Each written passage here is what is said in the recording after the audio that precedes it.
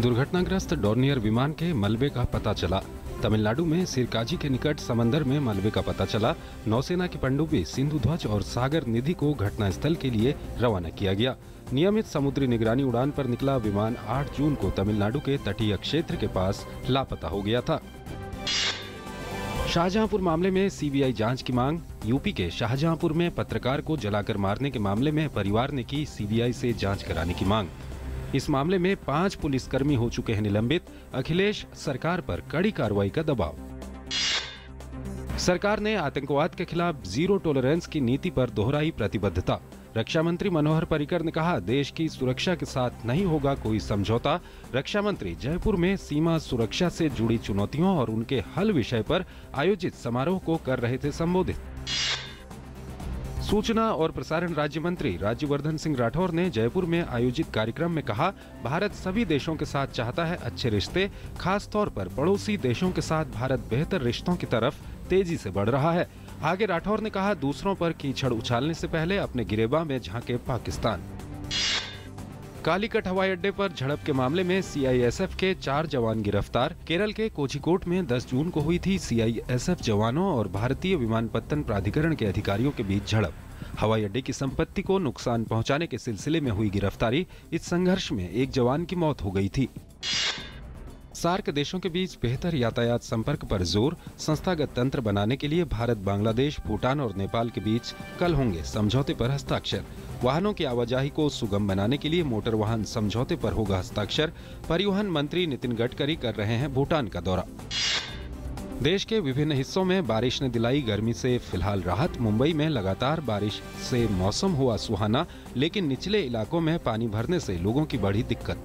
कर्नाटक, महाराष्ट्र, उत्तर प्रदेश, मध्य प्रदेश और राजधानी दिल्ली समेत विभिन्न हिस्सों में बारिश के बाद मौसम सुहाना। असम में बाढ़ की स्थिति से निपटने में जुटी एजेंसियाँ, पंद्रह जिलों के 600 से अधिक गाँव बाढ़ की चपेट में, तीन लाख सत्रह हज़ार से अधिक लोग प्रभावित, निमतिया घाट और धुबरी में ब्रह्मपुत्र और बारपेटा में बेकी नदी खतरे के निशान से ऊपर, तिनसुकिया, सोनितपुर और ग्वालपाड़ा जिलों में 11 राहत शिविर स्थापित।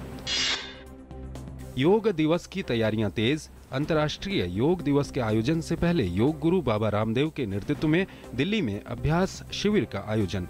हज़ारों की संख्या में लोग योगाभ्यास करने पहुँचे। दिल्ली पुलिस ने 21 जून के कार्यक्रम के मद्देनजर राजपथ और आसपास की सड़कों के लिए यातायात मार्ग बदले जाने के बारे में जारी की एडवाइजरी। व्यापार जगत से बड़ी खबर केयर्न इंडिया का वेदांता लिमिटेड में विलय तय। बोर्ड ने दी मंजूरी।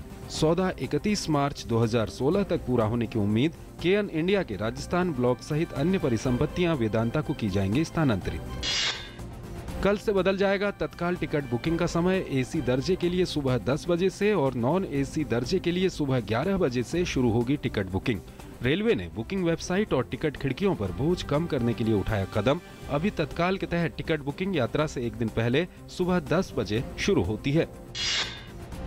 भारत बांग्लादेश के बीच बारिश से प्रभावित एकमात्र टेस्ट मैच ड्रॉ। फातुल्ला मैदान पर खेले गए मैच में भारत ने पहली पारी में छह विकेट पर चार सौ बासठ रन बनाए। बांग्लादेश ने पहली पारी में दो सौ छप्पन, जबकि दूसरी पारी में बिना विकेट खोए तेईस रन बनाए। फिरकी गेंदबाज हरभजन सिंह की टेस्ट मैच में धमाकेदार वापसी। लंबे समय बाद लौटे टर्मिनेटर ने बांग्लादेश के खिलाफ एकमात्र टेस्ट मैच में ही बनाया नया कीर्तिमान। बाजी ने अक्रम के 414 विकेट का रिकॉर्ड तोड़ा। 416 विकेट के साथ टेस्ट क्रिकेट में सबसे अधिक विकेट लेने वाले दुनिया के नौवे खिलाड़ी बने। टेस्ट क्रिकेट रैंकिंग में भारत को झटका, आईसीसी टेस्ट रैंकिंग में चौथे स्थान पर लुढ़का भारत। बांग्लादेश के खिलाफ फातुल्ला में एकमात्र टेस्ट मैच ड्रॉ होने के बाद भारतीय क्रिकेट टीम तीसरे से चौथे स्थान पर खिसकी। भारत, इंग्लैंड और पाकिस्तान के बराबर अंक, लेकिन दशमलव की गणना के आधार पर भारत रैंकिंग में अन्य दोनों टीमों से आगे। भारत के रोहन बोपन्ना और रोमानिया की फ्लोरिन मार्जिया की चौथी वरीयता प्राप्त जोड़ी ने स्टटगार्ड ओपन टेनिस टूर्नामेंट का खिताब जीता। खिताबी मुकाबले में बोपन्ना और मार्जिया ने तीसरी वरीयता प्राप्त ब्राज़ील के ब्रूनो सोरेस और ऑस्ट्रिया के अलेक्जेंडर पेया की जोड़ी को दी शिकस्त।